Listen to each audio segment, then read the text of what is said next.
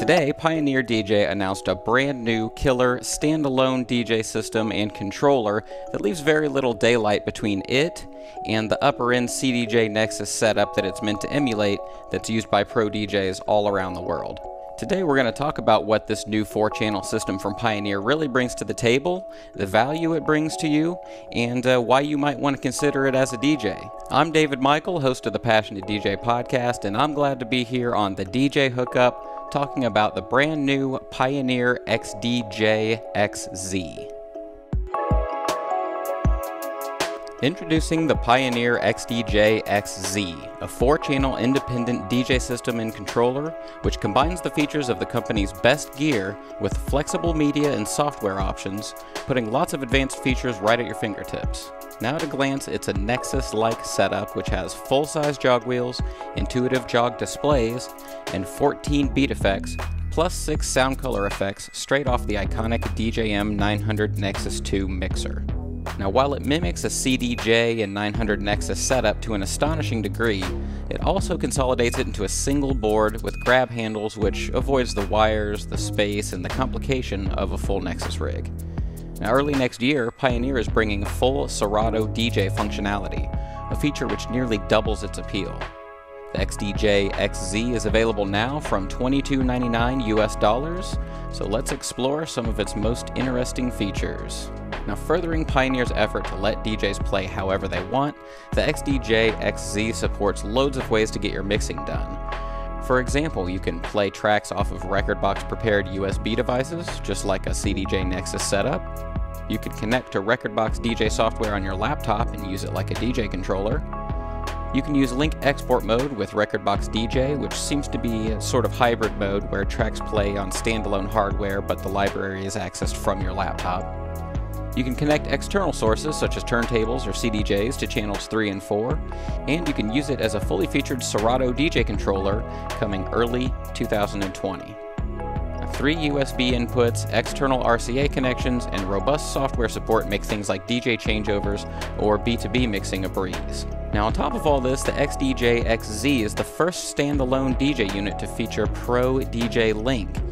Now, this system allows Pioneer DJ hardware to share music, track data, and sync information over a standard network cable. Now, this means that you could, for example, link up a set of external CDJs and browse or sync that audio into your mix, with the XZ acting as the main hub. Now, those external sources don't have to be digital, however. In fact, if you want to, you can plug into channels 3 and 4 uh, phono inputs and connect up your turntables for all of the analog goodness that your heart desires. Plus, it will support both Rekordbox DVS and Serato DVS when the Serato functionality is added for those of you who prefer to use timecode records. Both of those, however, will need to be licensed separately. Now, it should be noted that much like other standalone DJ systems, the XDJ XZ will play two channels from standalone USB, but it can use channels 3 and 4 to mix in other sources. Now, when used as a DJ controller in combination with your laptop and Rekordbox or Serato, all four channels are available for digital mixing. Now, at this point, it probably goes without saying, but the XDJ XZ comes equipped with a professional audio interface that gives high quality output from its main outs. The XZ gives you more control than most DJ controllers when it comes to shaping the way your final mix sounds. Now, not only do you have a typical three band EQ for each channel, but you also get a three band master EQ and three band mic EQs. This makes it ideal for mobile DJs who set up full sound rigs in venues of varied size and acoustical quality. Now, for each of its two mic inputs, a clear audio signal is provided even with a high input level. The unit has a built-in feedback reducer function for the microphones, and this helps to lessen squealing. Again, another helpful feature for mobile DJs or really anybody who does any mic work. Now on top of the unit, the 7-inch LCD touchscreen joins forces with the center on-jog displays to make for a very intuitive mixing that keeps your eyes out of the laptop, whether or not you're actually using one.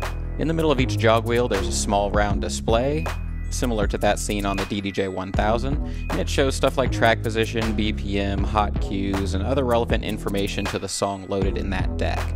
This frees up the beautiful center LCD touchscreen for track browsing and waveform displaying duties. And presumably, all this visual feedback will work appropriately with Serato DJ when that feature is added early next year. Now, of course, the high quality performance pads, there's eight under each deck, allow you to set cues, loops, and other software specific features, and they provide RGB multicolored feedback. So let's talk about who this thing is for. Standalone and hybrid DJ systems are hitting the scene quickly and they seem to be gaining traction. One hesitates before shelling out over two grand for a piece of DJ gear, but it doesn't take too long to see the value here. This is the closest replication of a full Pioneer Nexus setup I've ever seen, and the setup it seeks to clone costs over $6,000. And when you take what people already like, simplify it, charge half, and then double your market by partnering with the next biggest DJ platform, well, you've got yourself a winning recipe. Mobile DJs will be especially happy with sensible features that help make weddings and corporate gigs sound exactly right for the venue. The ability to set several layers of EQ before and on the final mix is a very nice professional touch. Now, club and resident DJs will appreciate the robust set of features, the exact match set of effects to the DJM 900 Nexus, and the fact that there's little reason to get an quote unquote actual CDJ setup unless you're a promoter that has to fulfill riders. Now, of course, you'll be immediately tempted to compare the XDJ XZ to two other standalone DJ systems, namely Pioneer's own XDJ RX2 and the Denon DJ Prime 4. Now, the RX2 makes a great choice if you have a similar desire for a Nexus like experience, but want or accept a somewhat simplified experience and you only want to mix in two channels. Now, feature for feature, it's really hard to argue against the extreme value of the Prime 4, and if you want something off the beaten path, which crams as many features into one small price point as possible, Denon may make more sense for you. But let's face it, Pioneer still sets the standard, and people want to mix on pro gear. The XZ looks every bit as professional and well built as the hardware it seeks to emulate, and uh, it really provides a good alternative to that more expensive hardware and with added value for Serato users or, you know, platform agnostic people who kind of ride the fence, it's easy to see where Pioneer's head is at. It's nearly everything that people are asking for.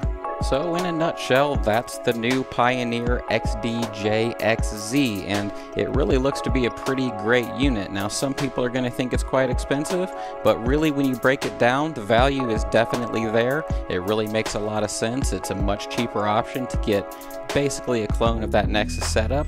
It really is pretty interesting to see where the DJ industry is going with all of this sort of standalone hardware. Now, if you think that this might be the new piece of gear for you, go to the link in the description and order yours right away. Uh, you can also follow us here on the YouTube channel at the DJ Hookup for upcoming full reviews and stuff as soon as we can get our hands on the unit and spend some time with it. And we'll also probably be discussing it on my show, the Passionate DJ Podcast, which you can check out at passionatedj.com. I'm David Michael. Thank you so much. This is the DJ Hookup. Take care.